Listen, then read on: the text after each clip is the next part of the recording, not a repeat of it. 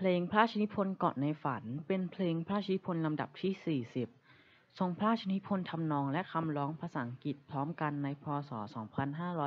2508 ทรงพระกรุณาโปรดเกล้าโปรดกระหม่อมให้ท่านผู้หญิงมณีรัตน์บุญนาค และหม่อมหลวงประพันธ์สนิทวงศ์ประพันธ์คำร้องภาษาไทยถวาย